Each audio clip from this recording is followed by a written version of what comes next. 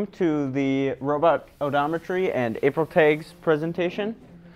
Uh, so today we'll be discussing odometry and April tags on our robot. So how many of you know what an April tag is? Okay, can we describe it to me? It's You- a sort of image of, in, I want to say, scaled up pixels of which cameras can use to detect certain codes and can be used for positioning by scaling things. Uh, I want say, it's kind of universal because you can have it at any angle and you can rearrange. You're on the right track there. So uh, we'll get into the definition later. I just kind of want to hear what everybody's, you know, clearly you're in a workshop to learn more about it, and I just wanted to hear, you know, what what you know about it already. So, um, and does anybody know what odometry is? uh, pretty much your position and rotation of the field. Yeah. There you go, exactly. So, uh, I'm Jack Schumacher, and I am the programming lead on Team 930. And I am Evan, and I'm a programming team member for Team 930. And we will be discussing robot pose and April tags. So, Today we will be covering what a visual fiducial system is and how we utilize it, April tags and their usages, cameras, on-field targets, odometry, and pose basics, and examples. We will also cover the issues that we have encountered during this past year with using April tags. all right, does anybody have any idea what a visual fiducial system is? So, it's kind of a combination of what we talked about earlier is your April tags and your odometry. So you're both using so you're using both odometry and April tags to determine your actual position on the field. So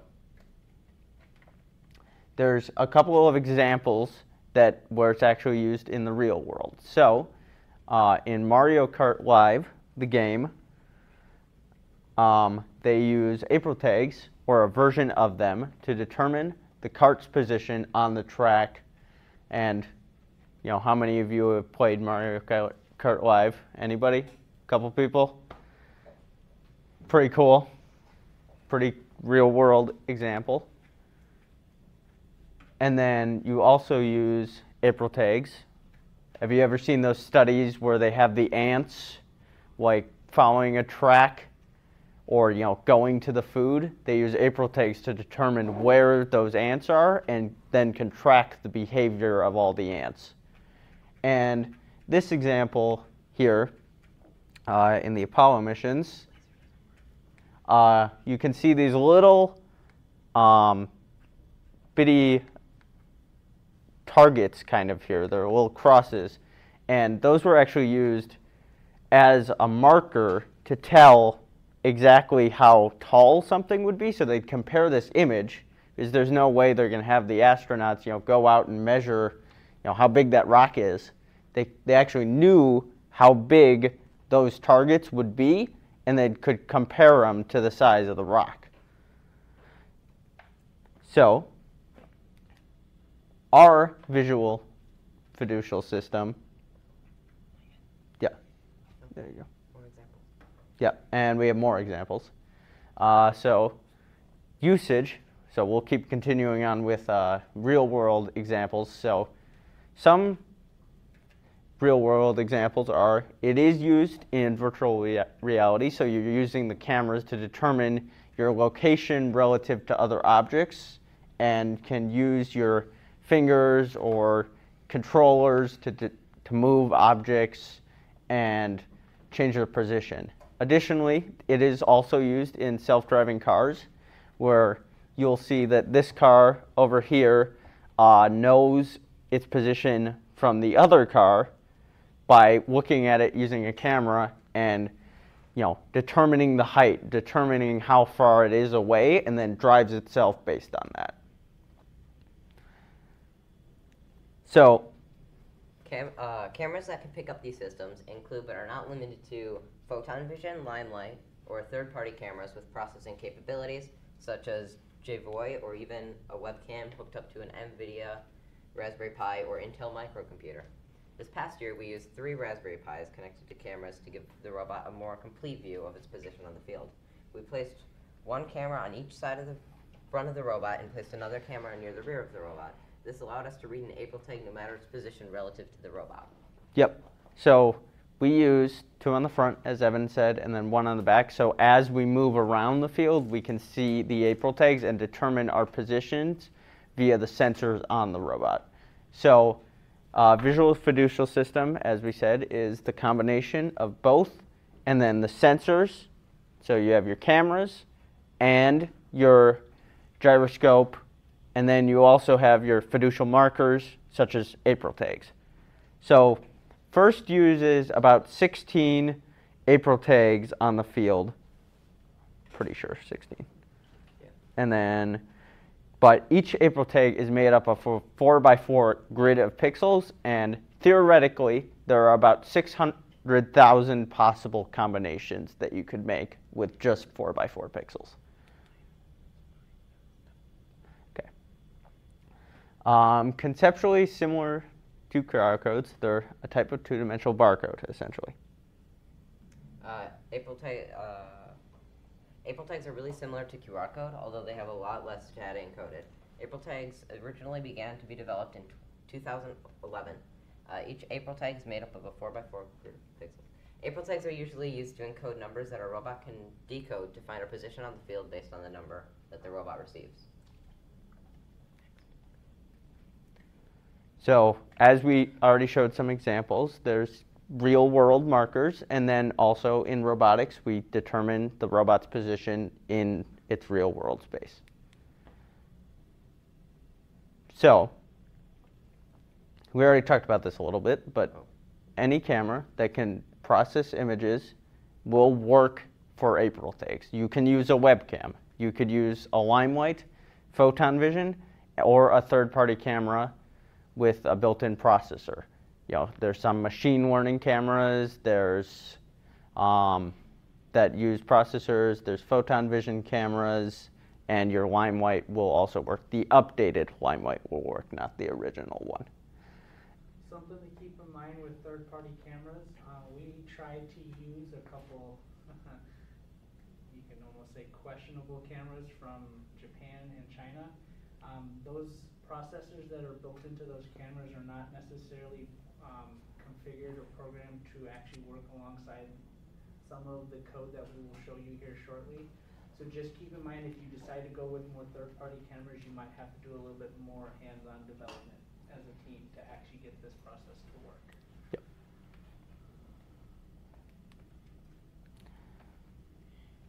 April tags can be found all around the field in important areas where the robot needs to know its position, such as when you're scoring pieces or trying to pick up a new piece from the chute or double substation. Yep. And then they're also found in the scoring areas. So it, during an autonomous path, you can pick them up and decide, oh, this is where I want to score my game piece. I picked up this tag. I must be in front of that section of the grid. What's the purpose of the April tag in the, in the world, really? Can anyone answer that? To visualize something inside of a 3D space. Sure, but what are we indicating on the field with each and every one of those April tags? Uh, the, the, the odometry of that specific spot. Yeah, but more importantly, it actually defines important places on the field, right? And they're common locations that your robot are gonna actually go to. Yep. And the idea here is your robot with being going to key positions on the field should be able to get a vision of one of these tags. Yep. That's why they put them where they put them on the field. In some cases, depending on the application, you can have a tag, hundred different locations on that field, all you want, to give you the best accuracy that you possibly, possibly can. Yep. First doesn't have that many locations on the built field this year. So you gotta Yep. pick your locations that will benefit you, benefit you the best. Yep. And that's why they picked these positions this Yep. year. So something to keep in mind. Yep.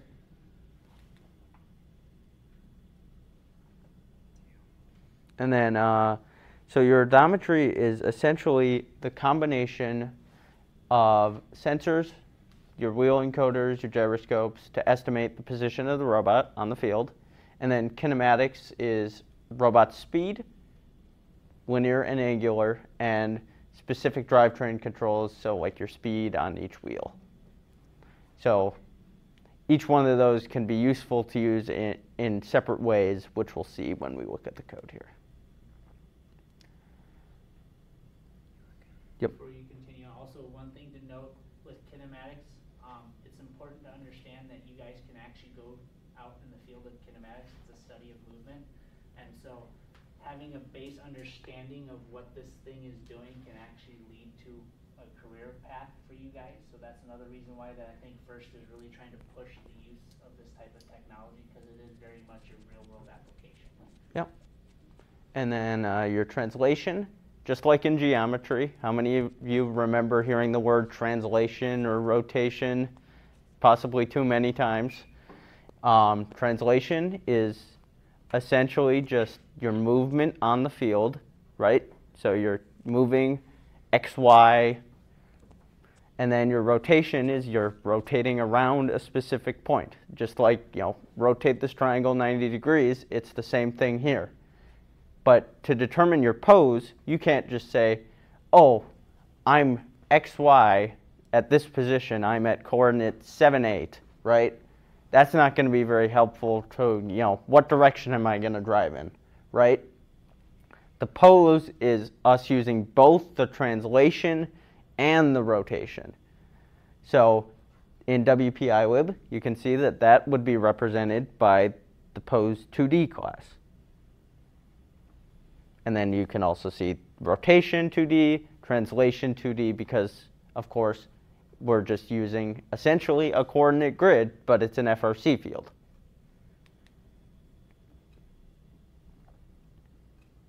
So again, essentially the same as your geometry teacher would show you, you know, translating from this position to this position or rotating around this point.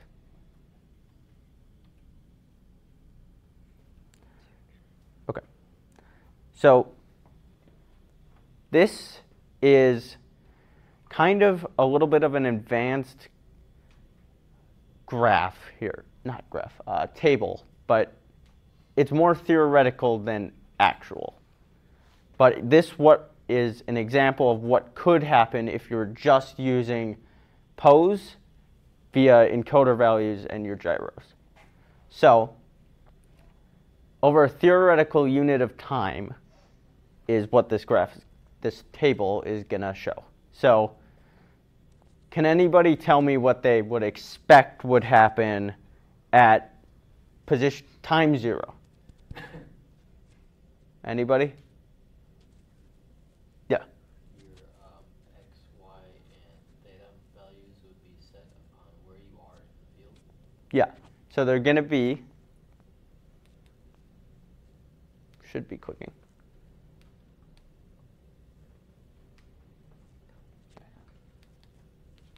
There we go. Oh, there's something that happened there. All right. So, as you can see, at zero, the time would be set to zero. The encoder value is going to be set at your initial starting position, as is your gyro value, and you're going to get a pose of zero, zero, and zero. And your error, since you just started out, is going to be zero. Can anybody tell me what they think would happen at the next time we did this? Okay, I guess I'll just show you. So at the encoder value at 1, yeah. So there's an encoder value at 1 here. So, and then your gyro value, and then your pose is the original pose plus your predicted pose based off of the encoder and the gyro values. And then your error would be a combination of your predicted pose and your actual pose. So now that I showed you the first one, can anybody tell me the second time I ran through this? Yep. Um, what you're gonna do is you're gonna have, uh, your, all, the- all the same errors as the last time we had together, just like the first one. So in this case, well, I can see it right now. you- Yeah, you you but- compressed it. Yeah. But, um,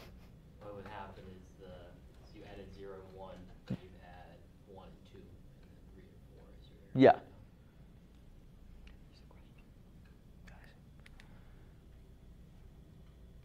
So this is representing, so the idea behind this slide is to show you guys what the WPI lib pose estimation object that you're going to be using does over time, okay?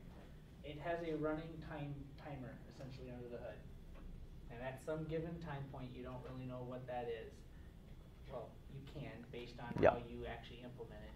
You will be pushing basically positions that your robot is, is registering through your odometry. And that's what we're trying to represent here. Your odometry has two parts, right? You have an X and Y position, and then you have your gyro heading, okay?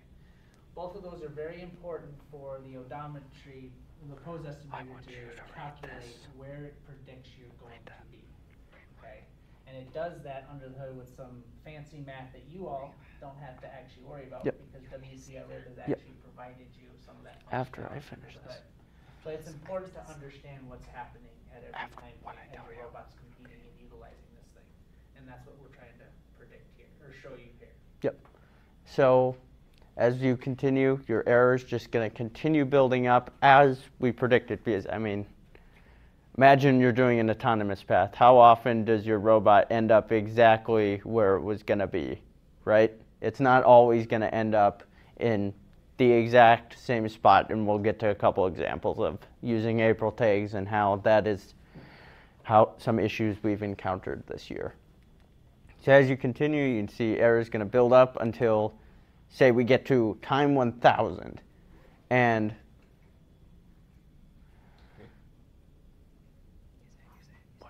yeah, so uh, as we continue here, error is going to continue to build. And we'll go to the next slide. So, what do you think is a way to remove some of the error that is piled up? Like, how would we go about doing that? Set it when you get data from the April tags. Exactly, when you get a visual position from the field. Yep, And that's yeah, right there. right there. Yep. And then once a position is established from the cameras, it can be used to resolve the error that is piled up. Uh, the error becomes massive over time, resulting in a serious difference between the estimated position of the robot and the actual position of the robot. See, the thousand. It's a big difference. Uh, with cameras, the error is drastically reduced in comparison to with estimation using odometry. Uh, cameras allow the robot to know exactly where it is on the field using April tags. Uh, this past year, we have encountered many issues when using our cameras in photon vision. So I wanna ask everyone, um, how often do you think you wanna try to grab a camera position during your competition? Probably whenever you score a game piece. Sure. Okay. Um, think a little bit more simplistic, right? What is the camera position based off of? Your orientation on the well. Nope. Huh? Location, and how do we get that location? What do we use to get that official location? What's the point of this presentation? tag. The April tag. Yep. Right. So the moment you see an April tag, you guys, you want your robot to capture that position, because that is a more absolute defined position on the field. Your odometry, as your encoder skip, as chain skip, as you get bumped around, whatever it is, it throws off the accuracy of your odometry through the time, through your competition. Cameras, however, those April tags don't move, they can't be affected, they are solidified positions on the field. So the idea here is, the moment you get a, a vision of a tag, you wanna capture that as soon as possible and put it into your odometry. Because that will reset that error and make your estimated position more accurate. Because it's a running average of all your positions essentially is what your estimated is during this pose estimation. So, that's why it's important to understand what those April tags represent and also position your cameras in such a way that you can capture those when they can. But the thing is, is you can't always guarantee to see a cam, uh, a tag. So you can't rely on it as hard as you can as your odometry, because your odometry is always there, no matter what. But the tag is not always visible by your robot, so that's why you only use the cameras to correct your error. And that's what it does under the hood, and that's what we're trying to represent here. Yep. So, before we move on to the next slide, how many of your teams have used April tags, cameras this past year? Has anybody used them? Okay, what team are you with? Seventeen, fourteen. Okay. We didn't, we didn't go all the way with it. We were gonna try and do on the fly five generation with it. Okay. Uh, but we never got to that point, so we just had the estimator. And then we ended up not using vision at all in our system. The driver's like, no, we'll just use our, we'll just eyeball it, I guess. Okay. Yeah. So the next slide is we're going to share our experiences with Vision this season. And uh, as Matt alluded to, yes, April tags are fixed position, but there's some issues that can cause them to not be fixed position. I'll show you what I mean.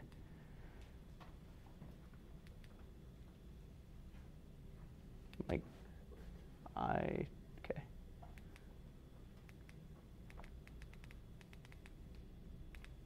There we go. Okay, so this is a match video from the Greater Pittsburgh Regional, and we're in the top. The top left, right there. Yeah, right there. 15 second autonomous period during this match. Both alliances scoring here. Team 9 30 autonomously picks up another cube. All right, there you go. It, it should cut off right there, so you can just escape. You might have to relaunch. We're having technical issues because we're running OBS on these on Yeah. the laptop to capture the video. All right, I'm gonna see if I can just click the next slide and it'll go back. Okay, Yeah, just escape. escape. That's actually a good one to go.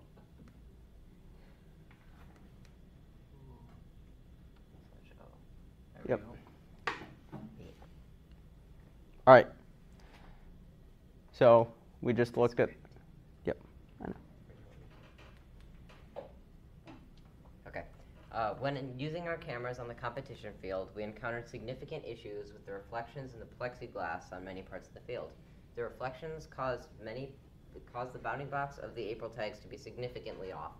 We especially encountered this issue in the Greater Pittsburgh Regional, uh, where the bounding box would jump significantly during it during autonomous due to reflections off of the double substation, causing the autonomous path to be slightly different from slight, slightly different during from what it was intended to be, causing us to become wedged on the charge station during autonomous.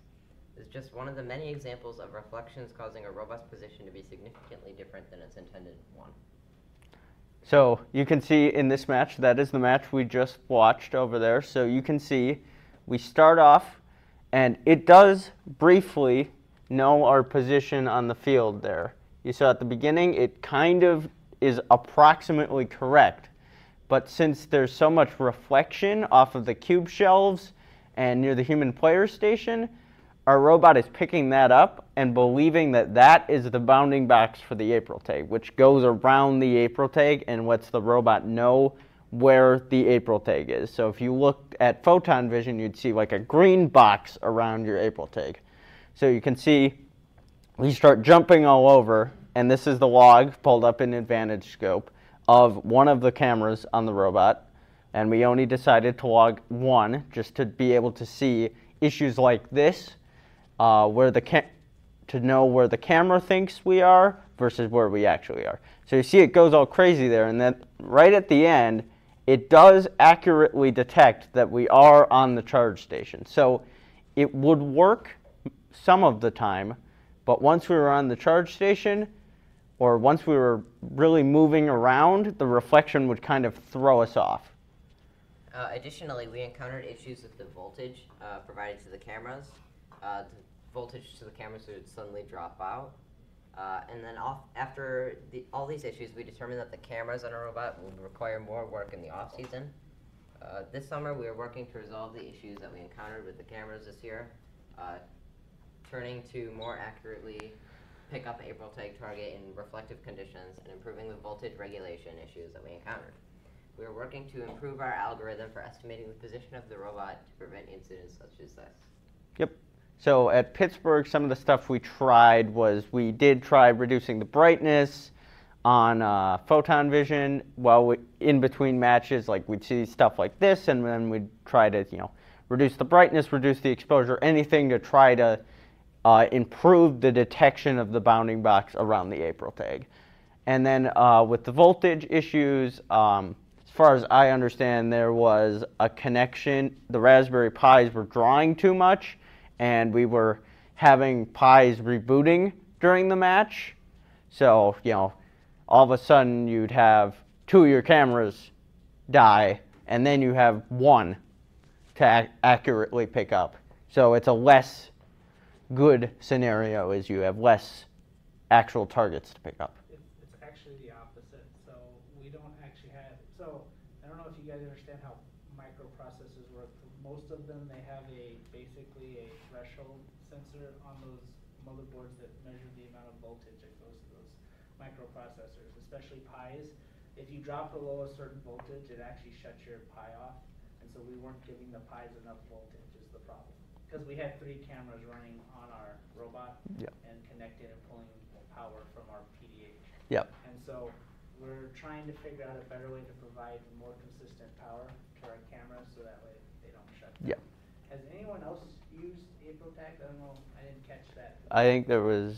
I know you are, you guys have. Have you had, what kind of problems have you guys come in across with these things? Just curious. Um, we were finding a lot of issues with the, the pose we were getting from the tag wasn't accurate up to, at times, like six inches at least off. Okay. Um, so we ended up not using it in actual competition. Yeah. How about you guys? You guys have any problems?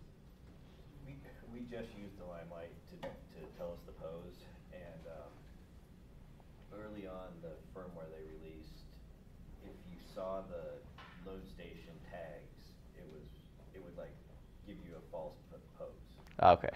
So eventually we figured that out and you could ignore like that tag number, those two tag numbers, um, and it got a lot better. Okay. Um, later on, they did release a fix for it. Okay. Yeah. We didn't see any reflection problems. Yeah, whenever, during one of these matches during Pittsburgh, we actually had the drive station team bring up our stream and watch, our drive captain would watch it, and he would, the camera, the, the robot would see the tag and all of a sudden, so it puts like what, uh, Jack said, a, a green box around the April tag, and all of a sudden, the green box would just stretch across the screen, cause it would capture a reflection on that, on the charge station, and it just throws the entire calculation. And that's what you can see those lines there are. Is it just jumping around of where it thinks the robot is on the field? One, one other one that's good to know, we, we have different accuracy if we see one tag versus two. So we did try to go to using two tags, um, because we were, the documentation and the algorithms under the hood, they're designed to actually use more than one tag. And so the W, the, um, we use Photon Vision's library to do the pose estimation, and they, like halfway through the season, put in the two tag support. We were trying to do a lot of that by hand. We did get some of that working by hand, but we struggled a little bit with that. And so we went to the WPI, the, the pose the photons version of the pose estimation. It kinda worked, but anytime you get nothing but less than or more than two, we got more problems that Yeah. trying to figure it out. Yep. So, This summer we'll work on implementing some more fixes. but just keep in mind, this is first, first year to actually Yeah. use this, and next year you guys will not have reflective tags. So, or reflective tape on the field, they're completely going away with that. So if you haven't started using this, I highly recommend that you Yeah. trying to look into it, because that's where they're going. So, Yep. ahead. And it offers a lot of useful features. So in future games, there could be more than 16. It it offers first a lot of opportunities on ways to expand the game, make it more autonomous. And this year, you saw some teams using it to be able to score more effectively, uh, using autonomous scoring and just knowing your position and saying, "Oh, I want to go high" or "I want to go low." So continuing. Okay, WPILib provides pre-made classes for pose estimation. Calibrating cameras is very important because bad camera calibration can lead to bad pose estimation. Uh, bad camera calibration could lead uh, could ruin a perfectly good autonomous path. Yeah. So if your camera is calibrated, so your tag, your actual position versus the tag is significantly different, you know, you could end up running into the charge station like we did in that match. That wasn't camera calibration, but you know something like that could happen, where your bounding box is not correctly centered on the April tag, so it isn't going to be able to pick it up as nicely. Uh, next.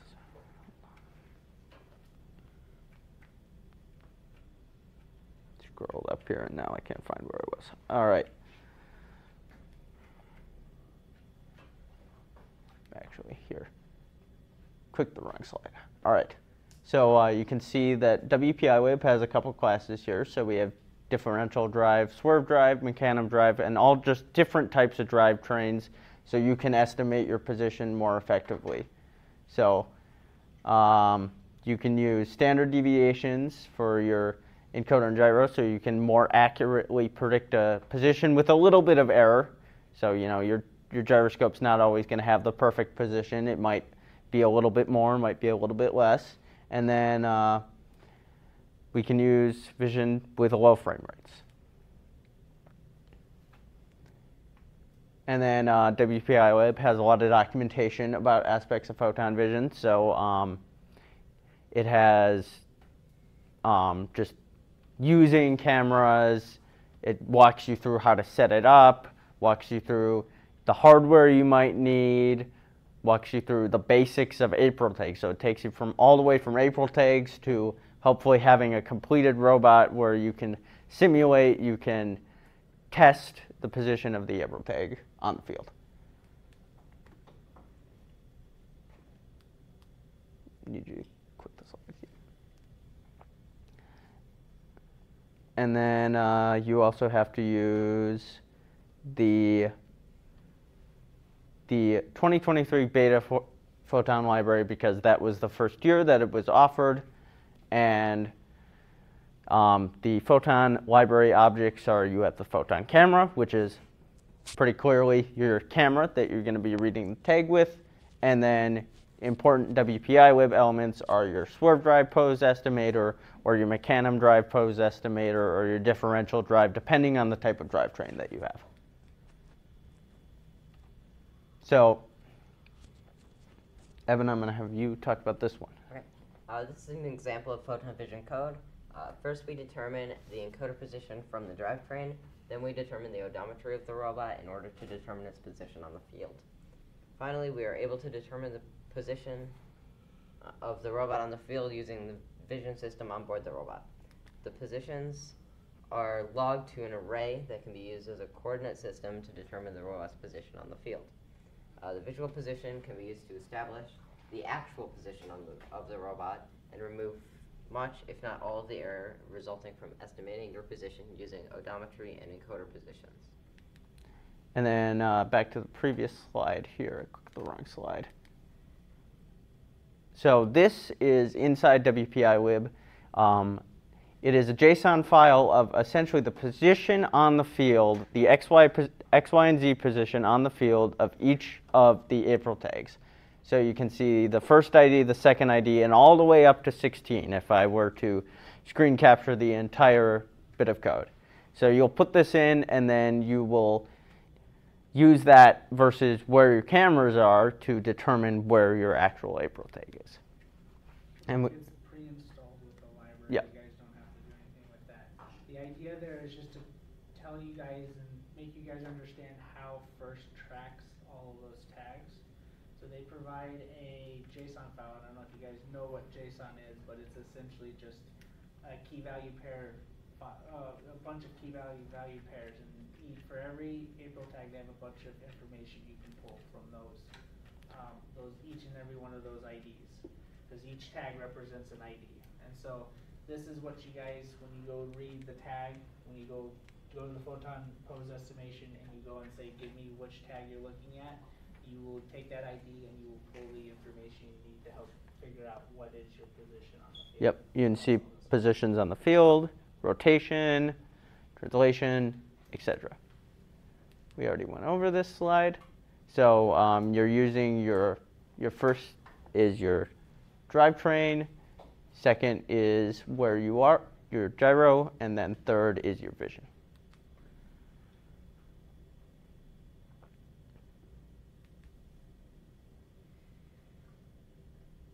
And then you can calculate your position here using the pose 2D class, and then you can use your pose estimator to determine your actual position. So here are some important links. So you have your WPI lib, uh, your state space and model control, about the April tags, what a fiducial marker is, and your WPI, uh, your photon library. And that WPI lib is probably one of the most important because it just walks you through anything from you know, learning about April tags and what the points of them are and why you should use them to um, control your robot, and then all the way down through you know basics of like fiducial markers. So as a recap, I. Yep. So as a recap, we uh, learned about the ins and outs of pose estimation. Uh, we determined the issues that can be caused through bad camera calibration, um, issues with reflectiveness and voltage irregularities. And um, we discussed the intricacies of developing code to help determine the robot on the position of the robot on the field. Does anyone have any examples of where a visual fiducial system could be used in real life? Does anyone remember any of those examples? Self-driving car? Yes? Yes. Any others? There was some VR stuff. right? Yeah. VR, yeah. Anybody else? Yes. Mario Kart. Yeah. Probably the coolest one. Uh, thank you for listening. Um, if you have any questions, you can reach out to us. Yep, there we go. Do you guys have any questions for us right now? Were you gonna post the PowerPoint? Yep, Yep. yeah. Um, so, I think the actual PowerPoint, if you want them, like an actual copy of it, we, if you let us know through email, we can send you that through the email. Otherwise, we are recording the screen capture and the voice, and we're gonna put it up on our YouTube channel Yep, within the next week or two, once we get through all this stuff. yep. I'm assuming there's actual links in there. we can click Yep. Yes, these are clickable. Yep, yeah. Yeah. Uh, we just, we haven't been, we didn't post the actual, the presentations like on our website, just because last year we learned, not, not many people, when we did do that, used it, and they still asked us just to email it to, email it to them. And so we're just gonna try to send it to email if you guys want it. So just shoot us an email, and we can easily Yep. send it to you guys. Um, also, so, we're gonna plug in our Bear Bite. Yep, that's, Yeah. That was on our script. Yep. Oh, uh, okay, Yeah. so we do have a Discord channel called Bear Bites. Um, we've been running it now for almost three years, and we will have links to these resources on there, as well as you guys can easily reach out. We can send you guys code of what we do and how we've used it, and we can help you guys out to the best of our ability. Yep, I'll probably, once we got them up on the website, I'll send it in an announcements channel that we posted them. Thank you. Yeah. So, I think at one point you said to use the Photon Vision library, you need to use 2023 beta. Is that just the most recent version? Or? Uh, there is more recent versions. I believe the it was 2023 beta or newer, if there's newer Oh, versions. Okay. Um, they're, I think they're completely out of the beta now. I think we should have updated that slide. Um, I think the last time they updated was la- this last February, I think is the Yeah. most recent release version of it, and they haven't released anything Yeah. yet until, they probably won't release anything until probably beginning of next year, Yeah. so. Okay. But you could theoretically use 2023 beta, but we'd recommend that you use anything newer with more updated positions. Mm. So there's technically two pieces of code, there's two libraries you gotta use, you still gotta use WPI lib library. There's a lot of the pose estimation is done through the WPI library. You use photon vision to give you the access to the camera and give you your actual camera position based on the ID that it sees. Yeah. okay? So then you gotta use those two things together to actually give you your pose estimation. Yep. Anybody else have any other questions? We'd be interested in feedback on this presentation as well as any feedback you guys have of what you guys have learned over this last year. because again, this is fairly new to everyone. Um, we're seeing a big cry for help on this. We did this at the WCTC, um, day for first this year, and we had a hand, bunch of people in there saying they needed help in understanding this, because Yeah. again, this is all you're gonna have next year. So I highly recommend you guys spend some time this summer and try to figure this stuff out. So, Yeah. If you have any other questions, feel free to ask. Yep. Thank you.